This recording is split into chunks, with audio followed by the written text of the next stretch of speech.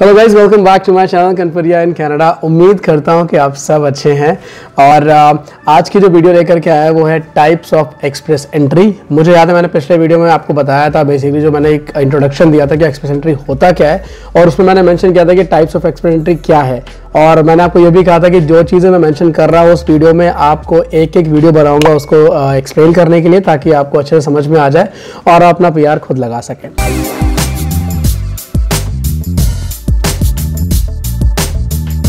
तो आज शुरू कर रहे हैं कि भाई जो मैंने मेंशन किया था कि तीन तरह के एक्सप्रेस एंट्री होते हैं। पहला मैंने बताया था कि स्किल्ड वर्कर प्रोग्राम होता है स्किल्ड ट्रेड होता है और कनेडियन एक्सपीरियंस क्लास होता है। तो चलिए इसके बारे में जानते हैं कि आखिर ये होता क्या है और इसमें अप्लाई करने के लिए क्या क्या रिक्वायरमेंट्स हैं। तो आपको जैसा मेरी स्क्रीन पे दिख रहा होगा तो अगर आप यहाँ पर देख रहे हैं, देखिए एलिजिबिलिटी क्राइटेरिया ये तीन तरह के उधर से मैंने आपको बताया। Canadian experience class federal skilled worker program और फेडरल स्किल्ड ट्रेड प्रोग्राम जो कनेडियन एक्सपीरियंस क्लास है वो बेसिकली उनके लिए होता है जिनके पास कनाडा का एक्सपीरियंस है और उसके बेसिस पे पीआर लगाते हैं। फेडरल स्किल वो है जो बेसिकली बेसिकली मोस्ट लाइकली ये सबसे ज़्यादा जो है इसमें फ़ाइल लगती है ये वो होता है।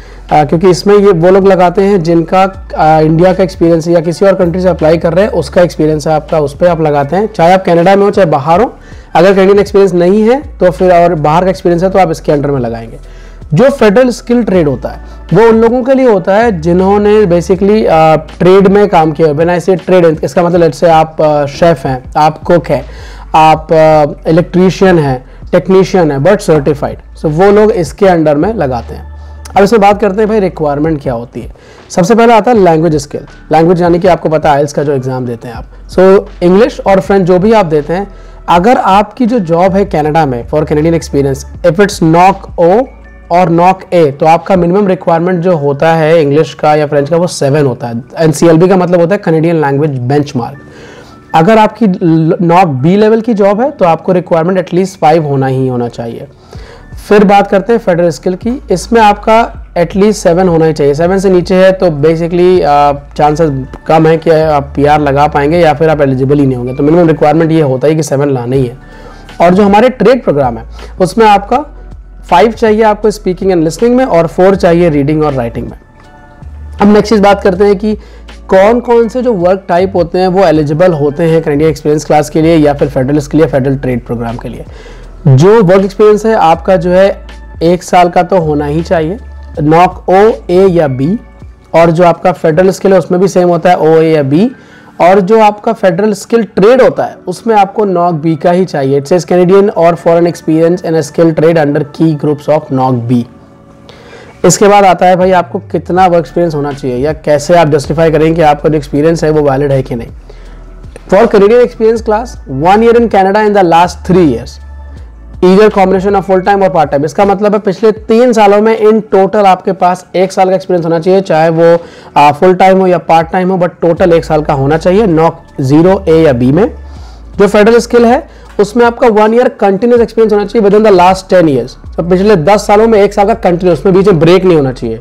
कई एक्सपीरियंस क्लास वालों को ये अपॉर्चुनिटी मिलती है, अगर बीच में ब्रेक है भी, आपने छह महीने काम किया, फिर तीन महीने कुछ और काम किया, फिर आपने छह महीने नौकरी में काम किया, वो एक साल का काउंट होता है। बट अगर आप फेडरल स्क्रीन में लगा रहे हैं तो आपका जो एक्सपीरियंस है, वो एटलीस्ट एक साल का कंटिन्यूस होना चाहिए। जो फेडरल ट्रेड है, पिछले पाँच सालों में आपको दो साल का एक्सपीरियंस होना चाहिए, चाहे वो फुल टाइम और पार्ट टाइम का mixture job offer Canadian experience class के लिए रिक्वायर्ड नहीं है। फेडरल के लिए भी रिक्वायर्ड नहीं होता है बट अगर आपके पास है तो एक तरीके से वो एड ऑन होता है आपके लिए। जो फेडरल ट्रेड प्रोग्राम होता है, उसके लिए आपको या तो कनाडा के से किसी कंपनी से आपको जॉब ऑफ़र हो फुल टाइम एम्प्लॉयमेंट का, एक साल का उसमें कंपलसरी मेंशन होना चाहिए कि वो आपको एक साल के लिए हायर कर रहे हैं, या फिर सर्टिफिकेशन क्वालिफिकेशन होना चाहिए। In that skill trade issued by Canadian provincial territory और फेडरल अथॉरिटी तो फॉर इंस्टेंस अगर आप कुक हैं शेफ है इलेक्ट्रीशियन है टेक्नीशियन है, उसका सर्टिफिकेशन कनाडा की प्रोविंस से आपको इशू होना चाहिए। अगर वो नहीं है तो फिर आप इसके लिए अप्लाई नहीं कर सकते। हैं एंड फिर लास्ट आता है एजुकेशन कैनेडा एक्सपीरियंस क्लास के लिए एजुकेशन की रिक्वायरमेंट भी नहीं है। आपके पास अगर कैनेडा का एक्सपीरियंस है और आप कैनेडा में हैं, नहीं भी हैं, आप लगा सकते हैं पीआर जो आपका रिक्वायरमेंट है फॉर फेडरल स्किल वर्कर उसमें आपको सेकेंडरी एजुकेशन रिक्वायर्ड है। बेसिकली आपने एटलीस्ट ट्वेल्थ और ग्रेजुएशन तो किया ही हो। And you can get more selection criteria points for post secondary education तो अगर आपने पीजी डिप्लोमा करा या मास्टर्स करा, उसके एडिशनल पॉइंट मिलते हैं, जो कि रिकमेंडेड है क्योंकि पॉइंट बढ़ जाते हैं उससे। और फेडरल स्किल ट्रेड के लिए आपको रिक्वायरमेंट नहीं है, अगर आपके पास एजुकेशन नहीं है तो बिना उसके भी लगा सकते हैं। आपको सिर्फ़ वो सर्टिफिकेट चाहिए जिस फ़ील्ड में आप ये लगा रहे हैं। अगर आपको इससे रिलेटेड कोई भी क्वेश्चन है तो आप बेसिकली मुझे नीचे कमेंट करके बता सकते हैं, कोई सजेशन है तो आप वो भी बता सकते हैं। एंड नेक्स्ट वीडियो जो बनाऊँगा, मैं बनाने वाला हूँ कि एलिजिबिलिटी क्राइटेरिया कैसे चेक करते हैं आपका। How can you check your eligible to apply for PR अगर नहीं है तो आप कैसे अपने आप को एलिजिबल कर सकते हैं।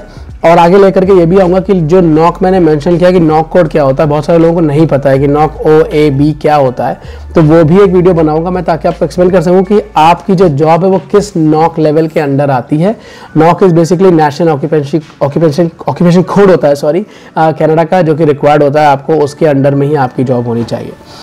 इन केस अगर आपको कुछ भी क्वेश्चन है तो बिल्कुल नीचे कमेंट करके बता सकते हैं। कोई सजेशन से नीचे बता सकते हैं। एंड अगर आप कनाडा पीआर लगा रहे हैं तो ऑब्वियसली मेरे प्लेलिस्ट में आपको कनाडा पीआर की पूरी सीरीज़ मिल जाएगी। अगर आप स्टूडेंट वीज़ा लगा रहे हैं तो उसकी भी सीरीज़ मैं चला रहा हूँ। वो भी आपको प्लेलिस्ट में मिल जाएगी। एक एक करके उसके वीडियोज़ भी अपलोड कर रहा हूँ। एंड जो मैंने आपको भी दिखाया इन्फॉर्मेशन स्क्रीन पर उसका लिंक भी नीचे मैंने डाल दिया। इनकेस अगर आपको जाकर के उसको रिव्यू करना हो, दोबारा आप लिंक पे क्लिक करके कर सकते हैं। एंड आप मुझे इंस्टाग्राम पर फॉलो कर सकते हैं। जैसे मैंने पहले बताया कि इंस्टाग्राम पर भी आप मुझे क्वेश्चन पूछ सकते हैं। और मैं बहुत जल्द इंस्टाग्राम पे लाइव भी आने वाला हूँ। आईडी मैं यहाँ पर अपनी दे दूँगा।